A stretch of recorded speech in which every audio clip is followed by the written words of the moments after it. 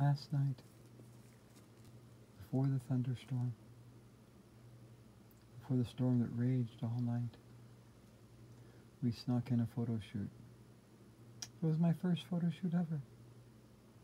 And this is the tale of a mermaid who was actually a unicorn, who was actually a Hello Kitty, who was actually a Barbie, who was actually a good girl, a lovely lady, a wonderful woman, a pretty princess, a Hello Kitty warrior, and a ninja kitten.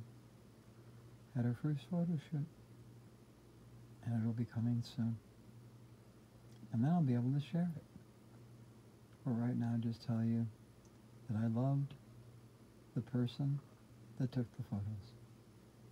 And I know they will be magical, mystical, and wonderful because life is about connections.